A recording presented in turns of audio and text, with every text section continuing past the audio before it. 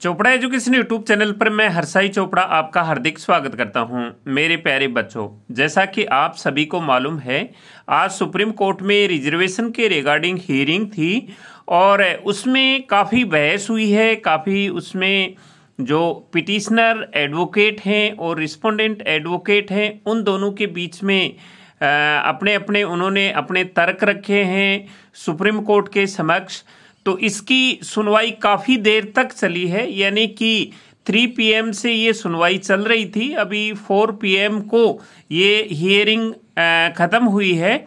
इसमें अभी कोई डिसीज़न नहीं हो पाया है, क्योंकि इसकी हियरिंग कल फिर से होगी। इसकी सुनवाई कल फिर होगी और जितने भी फ्रेश मैटर हैं, उनको, उनकी सुनवाई करने के बाद में इस केस को सुना जाएगा।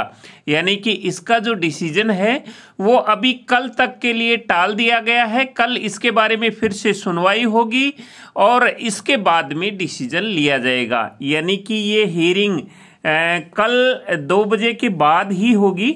तो इसके बारे में क्या डिसीज़न रहता है, ये तो कल की हियरिंग के बाद ही पता लग पाएगा।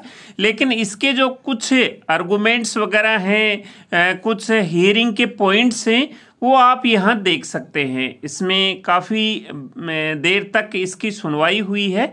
यानी कि तीन बजे से लेकर चार बजे तक आज इसके बारे में हियरिंग हुई है। लेकिन अभी जजमेंट नहीं हो पाया है। तो ये मैटर कल तक के लिए टाल दिया गया है। कल इसके बारे में फिर से हियरिंग होगी और इसके बारे में जो डिसीज़न होगा, वो हम आपको इन्फॉर्म कर देंगे कल इसका क्या डिसीज़न रहता है। तो मिलेंगे कल नई अपडेट के साथ नए वीडियो में। तब तक के लिए जय हिंद।